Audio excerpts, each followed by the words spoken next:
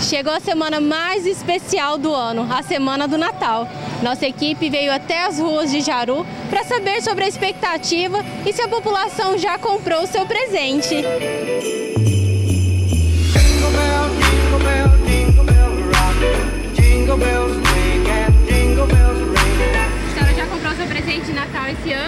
Ainda não. Não? Não. Vai comprar? Vou, vou comprar. E a família reunida esse ano, amigo secreto? É, se Deus quiser, todo mundo reunido. A senhora já comprou presente de Natal esse ano? Aham, eu não comprei, porque eu tô sem grana agora. É, mas a família vai estar reunida, todo mundo com saúde. Ô, graças a Deus, vai estar tudo lá junto.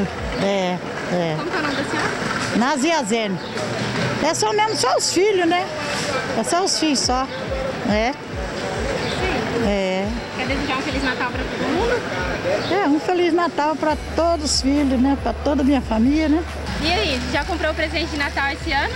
Já sim, já comprei presente, já entreguei alguns, esse é o que eu vou entregar agora. É. Natal, todo mundo, família reunida. Todo mundo reunido, os filhos, a família toda. Quer deixar um Feliz Natal para pessoa? Feliz Natal para minha família todinha, meus, todos meus parentes, meus filhos, todos meus irmãos, minha família toda.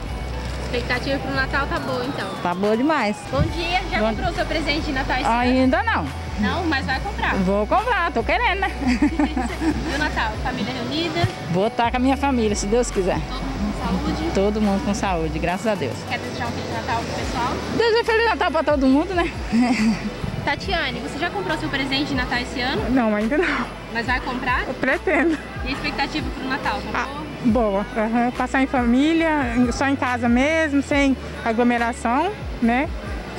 Passar consciente. Com certeza. Quer desejar um Feliz Natal pessoal? Feliz Natal a todos, que Deus proteja nós dessa pandemia e que tudo passe, que tudo fique bem logo.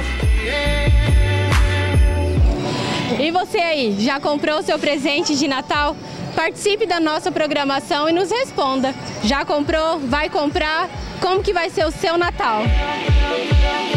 Ho, ho, ho.